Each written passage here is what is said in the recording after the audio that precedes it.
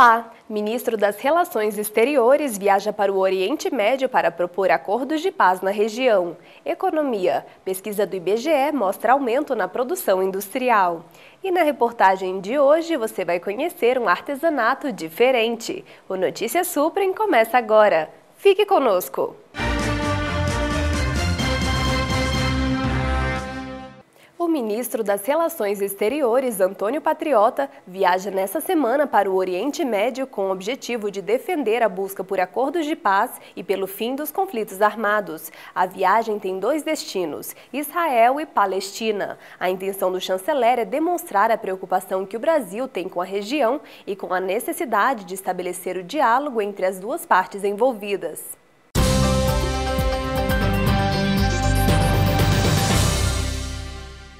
A produção industrial aumentou em 9 dos 14 locais pesquisados pelo IBGE de julho para agosto, segundo o levantamento divulgado nesta terça-feira. O maior destaque vai para o estado de Goiás, com um avanço de 10,3% no período, seguido do Amazonas com 7,6% e de Minas Gerais com um aumento de 4,8%.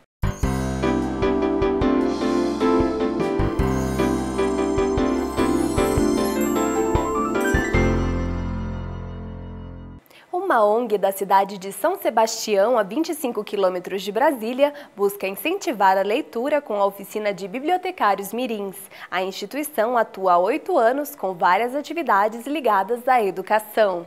A ONG Promovida oferece aulas e oficinas extra-classes para jovens de 6 a 14 anos de idade. Para fazer parte da associação, eles devem ser assíduos na escola e não terem reprovação no currículo escolar. A coordenadora da associação explica que os jovens têm todo o suporte para evitar reprovações. É uma exigência que esteja bem na escola, porque nós oferecemos todo o apoio, todo o suporte necessário, material, pesquisas, ajudamos nos deveres, nos trabalhos. Então, então não tem como reprovar na escola. Ele está aqui como eu falo, são professores particulares deles. Para promover o hábito da leitura, a instituição oferece aos frequentadores a oficina Bibliotecários Mirins. O objetivo da atividade é fazer com que os alunos tenham mais contato com os livros, além de criarem o costume de consultá-los sempre.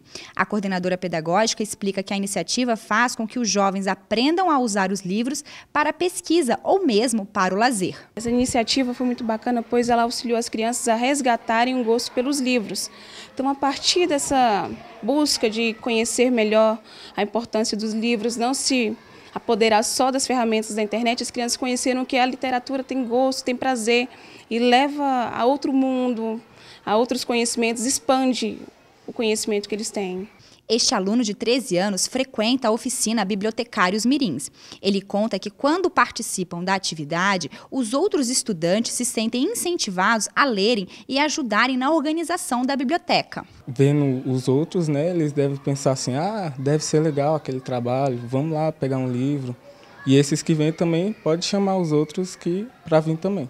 Esta outra voluntária participa da oficina há um ano. Ela explica que aprendeu a ser receptiva e tratar as pessoas com mais respeito. Eu gostei muito de trabalhar aqui porque eu trato bem as pessoas, aprendo a ler melhor literatura, que é sempre bom. A biblioteca do projeto Promovida funciona desde 2004. Com 3.200 obras, os oito bibliotecários mirins que trabalham aqui no turno da manhã e da tarde organizam e fazem empréstimo de livros. E quem presta serviços aqui admite querer um futuro melhor e conseguir um bom emprego no mercado de trabalho. Vai ajudar a gente no futuro para conquistar, trabalhar em uma empresa maior no mercado e também para os alunos da Promovida ficar mais cientes que pode usar esses livros do que os outros. E quem tiver interesse em ajudar a instituição com a doação de livros, pode entrar em contato pelo telefone 3335 7031.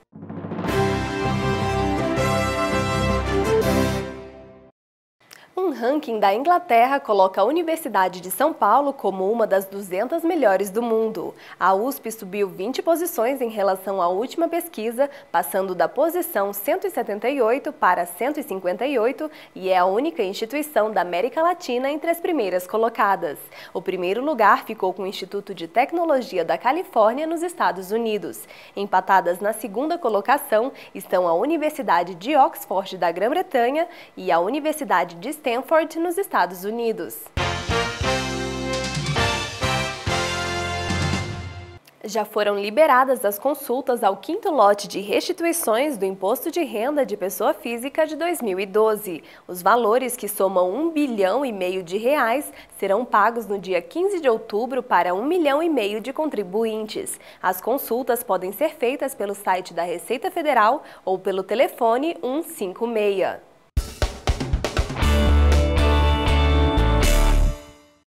Bonecos, animais e até monumentos históricos em miniaturas feitas com palito. Na nossa reportagem, a gente mostra o trabalho diferente de um artesão nordestino apaixonado pela cultura popular.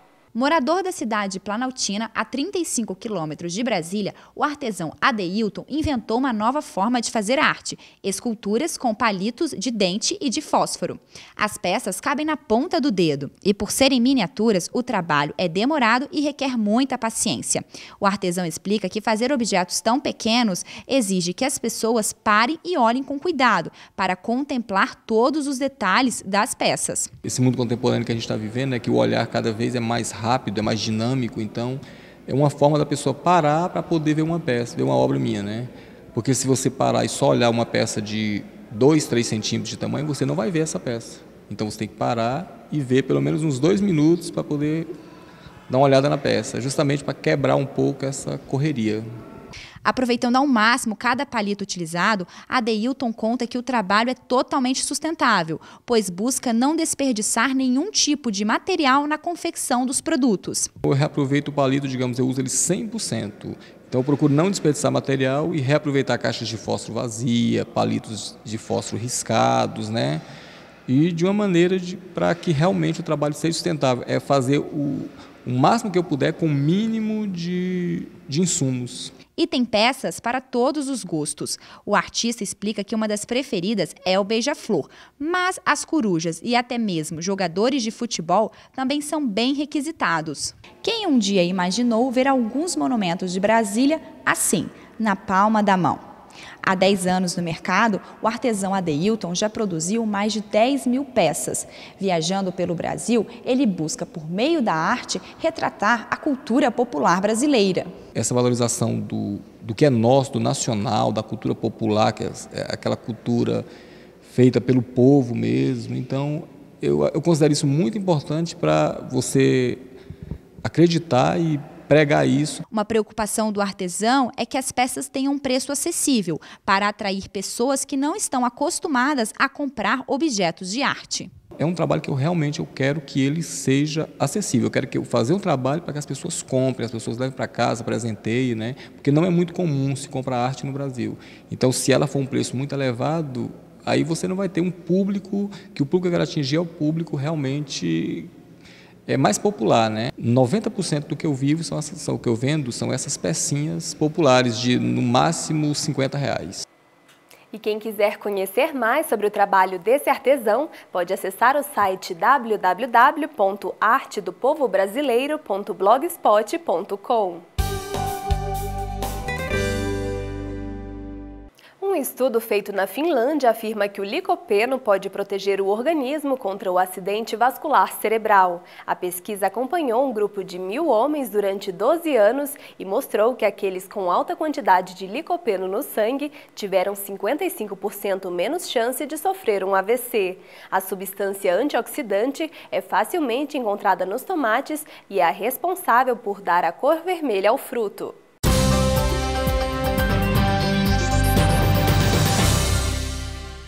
O IBAMA decidiu aumentar o número de vagas para o concurso público que será realizado para o cargo de analista ambiental. A última informação divulgada era de que haveria 61 vagas. Agora esse número subiu para 108, conforme o Diário Oficial. A remuneração é de mais de 5 mil reais e o prazo limite para o lançamento do edital é março de 2013. E por hoje é só.